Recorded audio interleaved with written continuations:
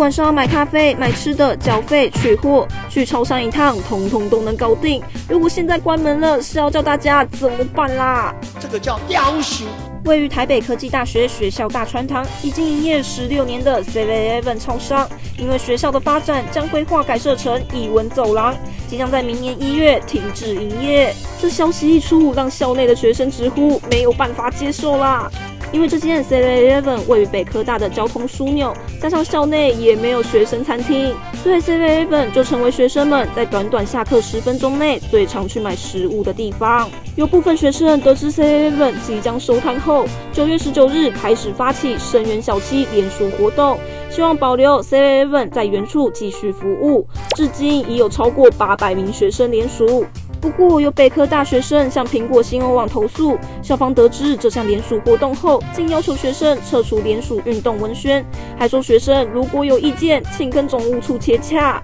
投诉人痛批，每个人应该都有发表主见的权利，呼吁校方应顺从校园民主，不应以权力打压学生自主发起的校园运动。对此，北科大则回应，近期总务处得知这间门市在结账柜台提供联署 QR code，鼓励消费师生声援，反对移除该门市的联署活动。